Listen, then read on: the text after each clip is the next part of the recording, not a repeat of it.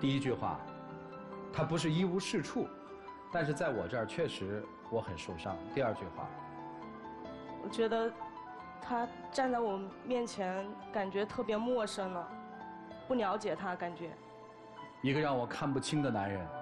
第三句话，我没有什么可以对他说的很多的了。你呢？评价一下你对面的女人。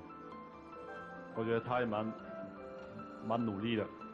她是一个努力的女人。第二句话，对于工作她也蛮愿意吃苦。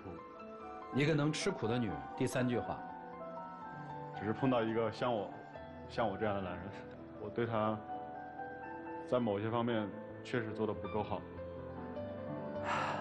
结婚四年，我们看到了一段特别现实的婚姻，就摆在我们这儿。老师们会如何帮助他们呢？我们先听听老师们的意见，一起进入丘比特问卷。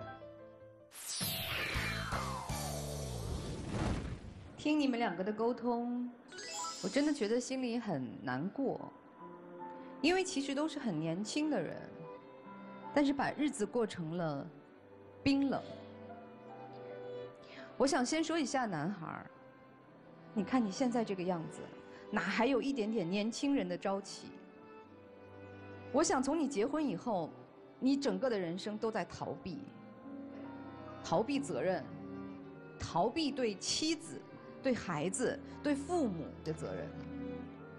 我觉得今天你看看对面的这个女人，她一心的爱你，想要和你结婚，想要给你生孩子，想要和你的大家庭在一起，难道这些不值得你振奋精神去好好活一次吗？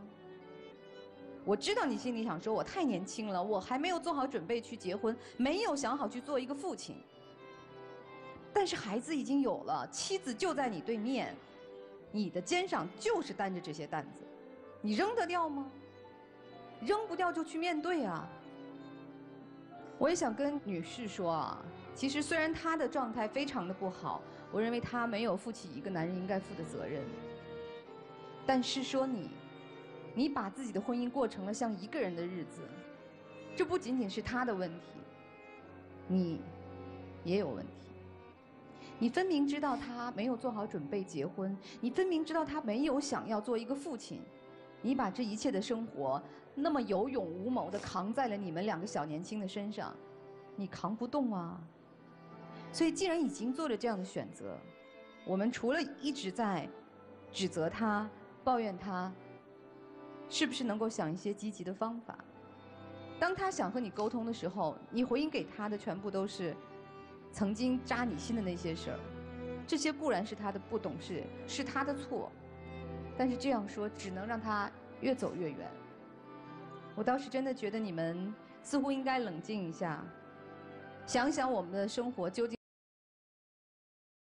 在谁负责任、谁不负责任当中过好自己的日子。男人做个男人。女孩自己选择人生，要更坚强一点。谢谢。